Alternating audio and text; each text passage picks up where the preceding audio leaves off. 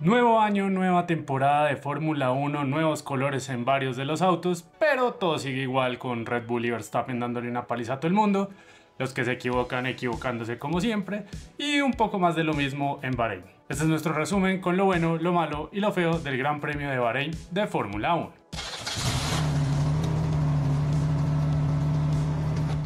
¿Cuál es la mejor manera de arrancar la defensa de un título? Dominando a placer la siguiente carrera. Esta primera fecha de 2024 ha sido una verdadera aplanadora para Max Verstappen. El neerlandés lideró todas las vueltas, se quedó con la pole position, hizo la vuelta más rápida de carrera y por supuesto se llevó el trofeo como ganador del Gran Premio de Bahrein. Es un gran chelem para el vigente tricampeón del mundo y el RB20, otra obra maestra de Adrian Newey y Christian Horner, debuta nuevamente ganando.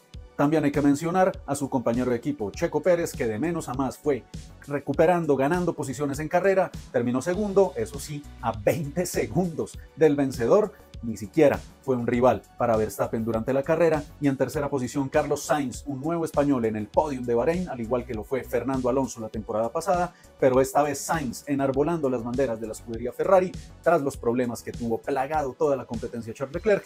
El español le da al cabalino rampante su primer podium del año. Leclerc tiene muchos fans, pero no tanta suerte realmente. Y pues Ferrari tampoco ayuda con ese concepto de la suerte, porque los errores que cometió Leclerc al principio de la carrera, sea por la falla de frenos o propios, igual no le ayuda a un equipo que busca estar más adelante y poder ser competitivo. Seguimos viendo lo mismo del año pasado y es que Sainz sigue superando a Leclerc por lo menos en esta primera carrera en Bahrein.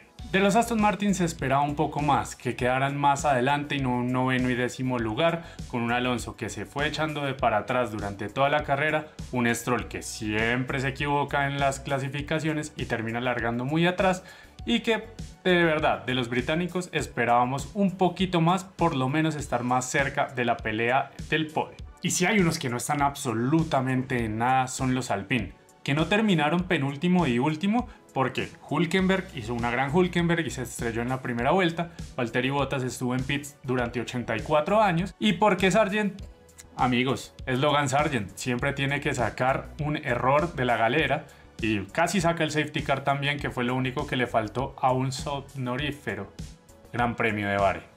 Desde la llegada de estos autos en 2022 nos vendieron el concepto de paridad, de carreras más cerradas, de duelos más apretados, pero la realidad es que estamos ya en la primera fecha de 2024 y eso sigue sin aparecer.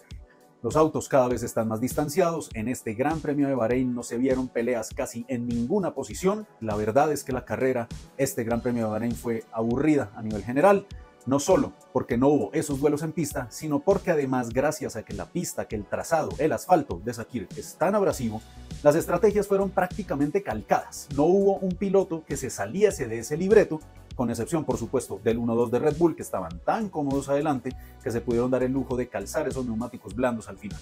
Pareciera que a pesar de que este reglamento ya está establecido entre todos los autos, las distancias en lugar de acortarse se hacen cada vez más grandes. Pero ¿qué opinan ustedes de este arranque de temporada de Fórmula 1?